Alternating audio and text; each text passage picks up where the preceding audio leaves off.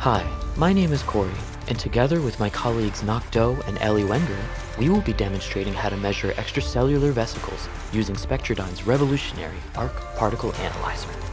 We'll show you how easy it is to prepare and measure the samples, and we'll see the kinds of unique insights the ARC can provide to help your science.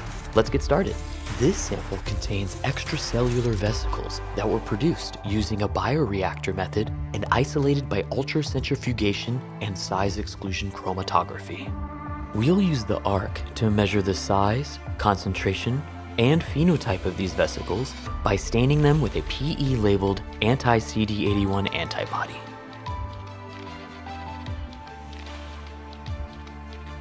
To prepare the sample for measurement, she will add the stain to a small aliquot of the sample, shooting for a stain molecule to particle ratio of about 1000 and a particle concentration around 1 times 10 to the 10 particles per milliliter.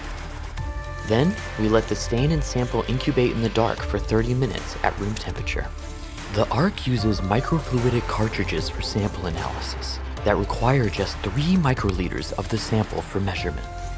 So, she will pipette 3 microliters into the cartridge, load it into the instrument, and get the instrument ready for measurement. A key feature of the ARC is that the optics are aligned automatically before every measurement, ensuring repeatable results from run to run. After priming the cartridge for measurement, the data starts coming in in 10 second acquisitions. Each downward spike in the blue trace is the detection of a single particle by MRPS. You can see some of these particles also generate a simultaneous signal in the fluorescence channel. These are the particles of interest.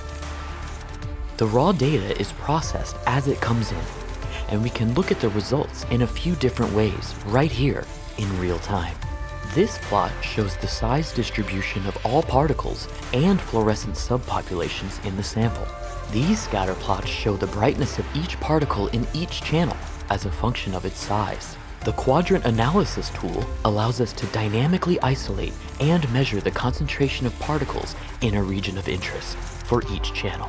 These plots show that the EVs are showing up primarily in the PE channel, as expected.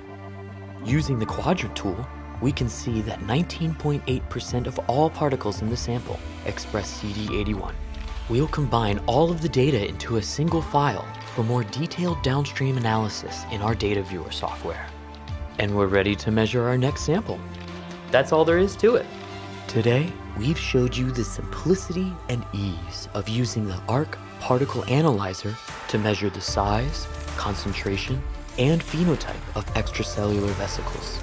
Reach out to our sales team to learn more.